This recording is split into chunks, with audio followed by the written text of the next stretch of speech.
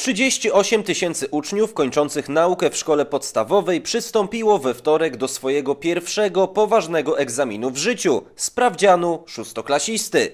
Test nie ominął rzecz jasna także uczniów z gminy Krosno Odrzańskie. Siedzicie w tej sali po raz ostatni. Już od września będziecie sobie siedzieć w gimnazjum, w innych ławeczkach. A więc życzę Wam, żeby ten wynik, który będzie dzisiaj przez Was napisany, był jak najwyższy. Życzenia powodzenia jak najbardziej wskazane, choć większości uczniów nie opuszczał dobry humor. Ale czy tak było do końca? Przed wejściem na, do, na sprawdzian po uczniach nie było widać tremy, nie widać było strachu.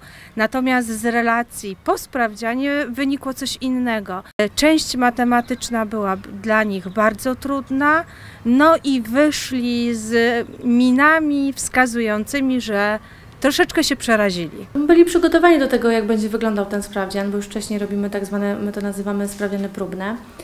Aczkolwiek jest to jednak dla nich ogromny stres, ponieważ zupełnie inna otoczka jest tego. Mieliśmy też okazję mieć obserwatora z kuratorium, więc dodatkowy stres dla uczniów to też były nie tylko znajome twarze. Wynik sprawdzianu nie decyduje o przyjęciu do gimnazjum, choć stanowi warunek ukończenia szkoły podstawowej. Jego forma jest wymagająca i rozpisana na dwie części. Część pierwsza, język polski, matematyka.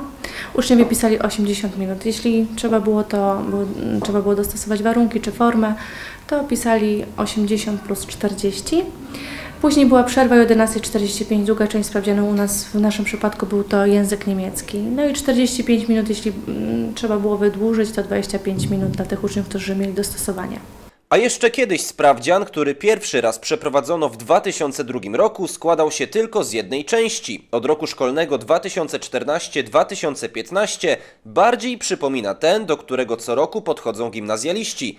Taki sprawdzian to stres dla wszystkich. Nauczyciele stresują się już od razu wynikami sprawdzianu. sprawdzianu. Uczniowie, jakim pójdzie ten sprawdzian, no i dla dyrektorów też to jest stres, jak to będzie wyglądało, jakie będą wyniki. Zgodnie z zapowiedzią minister edukacji narodowej Anny Zalewskiej od 2017 roku sprawdzianu nie będzie. Nie będzie, ale to nie oznacza, że e, nie będziemy tak samo e, poważnie podchodzić do nauki, do przekazywania tej wiedzy i nauki uczniom.